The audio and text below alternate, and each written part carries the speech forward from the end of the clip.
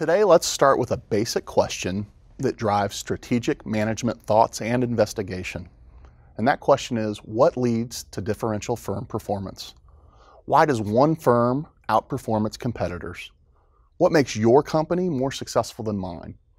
These are the kinds of questions that keep CEOs up at night and give scholars ongoing opportunities for research.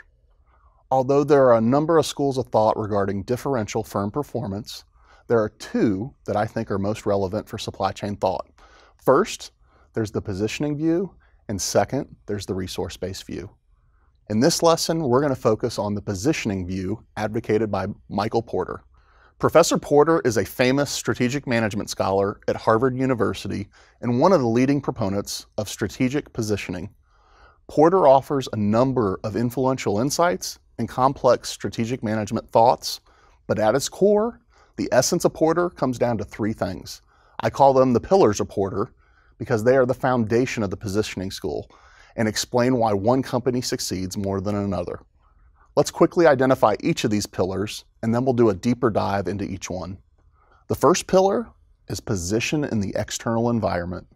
According to Porter, firms will be more successful when they leverage their strengths to obtain an advantageous position within the external environment.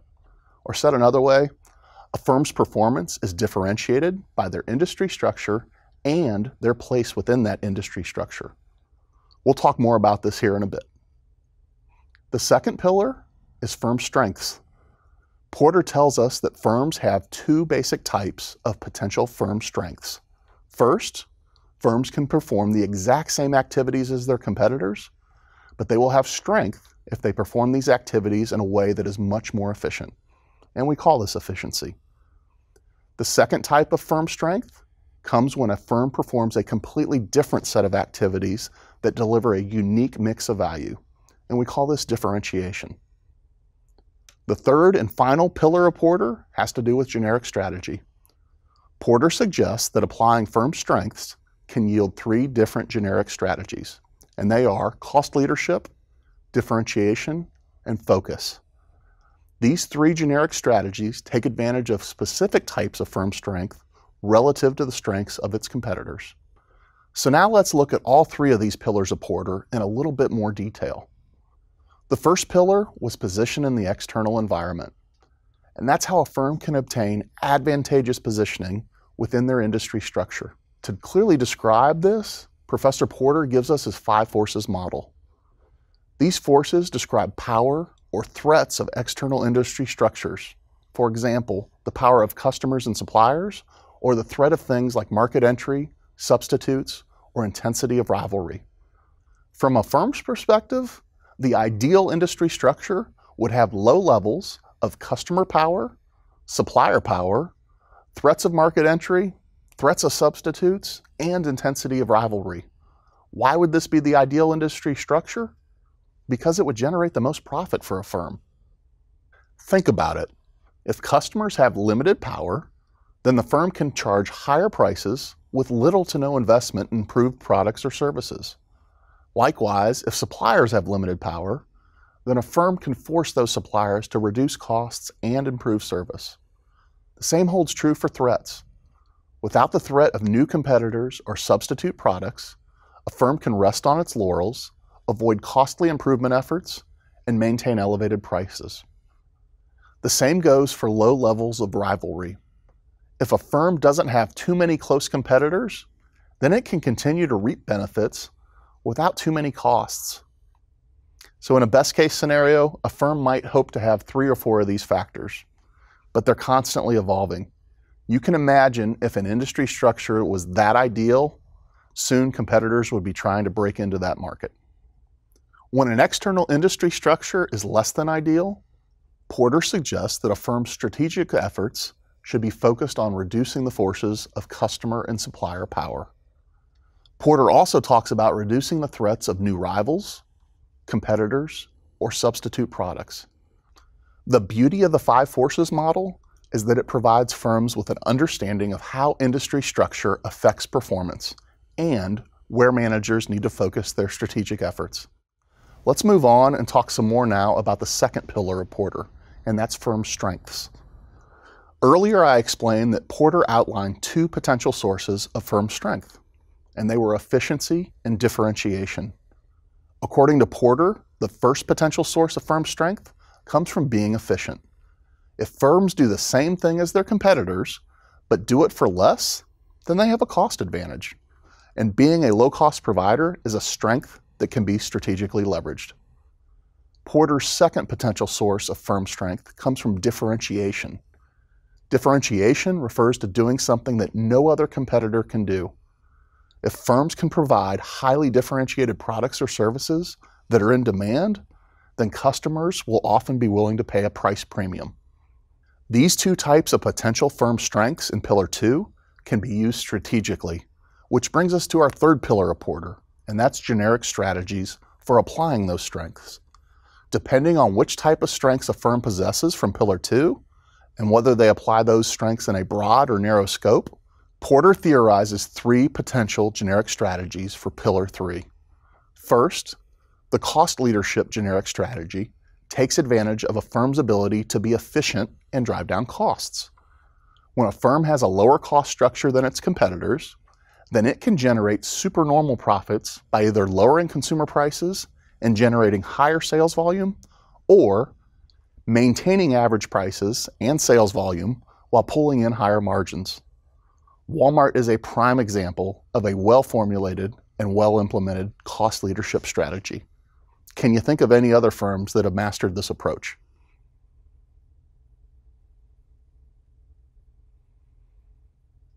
A second generic strategy is differentiation.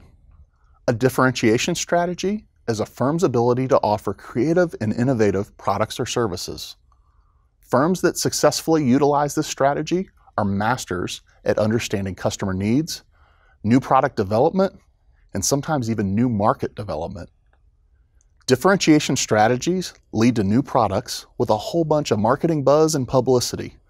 Consumers are often willing to pay price premiums for these cool or trendy new products, leading to increased profits. Apple's a good example of a company that thrives on a differentiation strategy. What other companies do the same thing?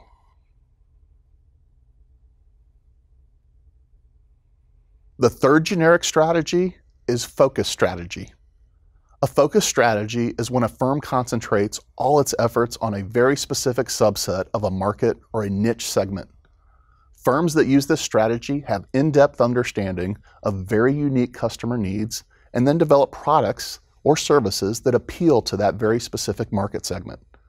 A focus strategy can partially take advantage of cost leadership or differentiation strengths, but at its very core, a focused strategy comes down to emphasis on meeting very specific needs of very specific customers. For example, most college towns have a company that focuses on the quite unique needs of their students, alumni, and fans. So now that we've reviewed the three basic pillars of Porter, I think it's a fair question to ask, what the heck do these pillars have to do with supply chain management? Or said more eloquently, why as a supply chain manager should I pay attention to the positioning school of strategic management? I think if Porter teaches us nothing else, he drives home the idea that you must understand the external environment that you operate within and you must understand how it affects your business. Let's take a look back at our three pillars and see how they directly will impact you as a supply chain manager. Under the first pillar, Porter's Five Forces model specifically gives supply chain managers a starting point for understanding big structural influences on profitability and competitiveness. But I would contend it is just a starting point. There are other external factors at play that also affect ongoing logistics operations. For example, many modern supply chains are truly global and extend to all regions of the world. With that type of broad footprint, supply chain managers must be aware of all the risks and opportunities that are constantly evolving. Any changes in the external environment along that complex supply chain can affect a firm's ability to get the right products to the right place at the right time. Now, earlier I explained that Porter outlined two potential sources of firm strength, and those were efficiency and differentiation. If you're a supply chain manager, you'll want to pay attention to Porter's explanation of where those firm strengths come from. And the answer is your firm's value chain. Porter describes a value chain as a set of interrelated activities a company uses to create a competitive advantage. The five steps in a value chain give a company the ability to create value that exceeds the cost of producing its products or services for customers. The five steps are inbound logistics, operations, outbound logistics, marketing and sales, and service. Maximizing the activities in any one of these five steps allows a company to have an advantage over its competitors and ultimately generate a higher profit. At first glance, this just sounds like a rudimentary supply chain that is limited to an internal firm focus. However, if we take it and expand it to include a modern global supply chain management approach, an approach where individual firms no longer compete on their own, we find that this same logic does hold true. In a modern supply chain, for a firm to obtain strengths of efficiency or differentiation, that firm must efficiently and effectively manage processes across functional, organizational, and international boundaries. They must select supply chain partners with complementary skill sets that create valuable synergies. They must communicate, collaborate, and coordinate with supply chain partners to create value that meets or exceeds customer expectations. In today's global economy, firms no longer compete against firms. Rather, supply chains compete against supply chains. As Porter correctly identified in the second pillar, much of a firm's strength does indeed come from a firm's ability to manage its value chain. And finally, let's look at what supply chain managers can use from the third pillar of Porter. Supply chain managers also need to thoroughly understand their firm's generic strategy. They need to know whether their firm is pursuing a cost leadership, differentiation, or focus strategy in order to ensure that their supply chain actions are consistent with the overall corporate approach. Supply chain strategy needs to fit with firm strategy and vice versa. They need to be aligned. Without appropriate strategic fit, firms will lack the consistency of purpose, action, and resource allocation to be successful. So let's summarize our lesson. Today we talked about the three pillars of Porter. First, the importance of positioning within an industry structure in the external environment. Second, the potential sources of firm strength. And third, the generic strategies derived from efficiency and differentiation strengths. After reviewing these aspects of business strategy, we then explained how and why they are important to supply chain managers. I hope you can see the value of the positioning school of strategic thought and its vital link to supply chain management.